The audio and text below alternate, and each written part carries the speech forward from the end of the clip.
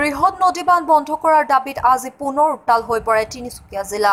জিলাখনৰ মাৰ্ঘেৰিটাত অসম জাতীয়তাবাদী যুৱ ছাত্ৰ পৰিষদৰ তিনিচুকীয়া জিলা সমিতিয়ে অৱস্থান ধৰ্মঘট কাৰ্যসূচী ৰূপায়িত কৰি নামনি সোৱণশিৰিৰ বৃহৎ জলবিদ্যুৎ প্ৰকল্প বন্ধ কৰিবলৈ দাবী উত্থাপন কৰাৰ লগতে বানপানী সমস্যাৰ স্থায়ী সমাধানৰ দাবী জনায়।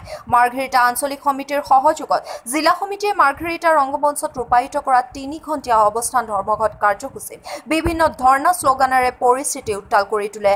প্ৰতিবাদকাৰীসকলে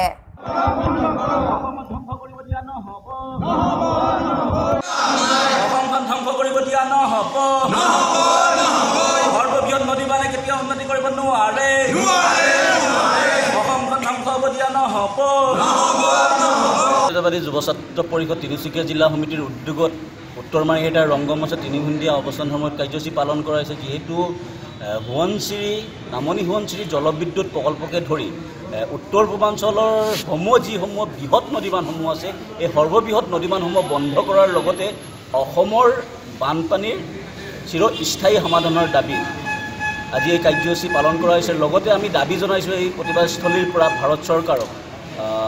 সেই চৰকাৰখনে যি আজি শাসনৰ গাদী লৈ আছে সেই শাসনৰ গাদী নোলোৱাৰ আগত সেই ভাৰত চৰকাৰৰ বহু জনপ্ৰতিনিধিয়ে অসমৰ মাতৃভূমিত ভৰি দি তেখেতসকলে বহু ডাঙৰ ডাঙৰ কথা কৈছিলে।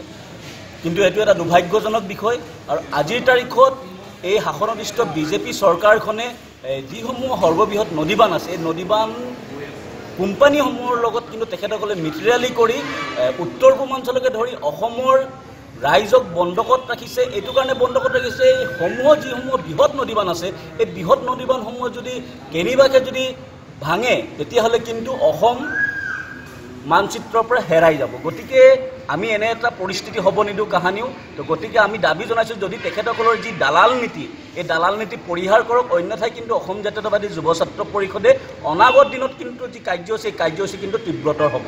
আৰু এই প্ৰতিবাদস্থলীৰ পৰা আৰু অসম চৰকাৰকো আমি সকীয়াই দিছোঁ। তেখেতসকলৰ স্থিতি কোনো স্পষ্ট নাই।